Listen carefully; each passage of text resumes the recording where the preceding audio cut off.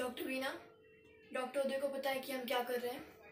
Dilation curettage DNC और इसका क्या पर्पस होता है? मैम डीएनसी तो ऑबोशन के लिए यूज़ करते हैं ना? आप में और एक वार्ड बॉय में क्या फ़र्क है? मैम डीएनसी डायग्नोस्टिक पर्पस के लिए किया जाता है। अबॉर्शन के लिए डीएनई पर ऑर्थोपेडिक्स पढ़ के ये कैसे सीखेंगे?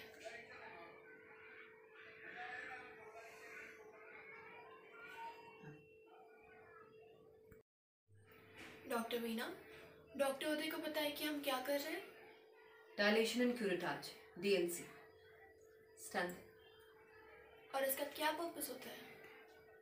मैम डीएनसी तो ऑबोशन के लिए यूज़ करते हैं ना?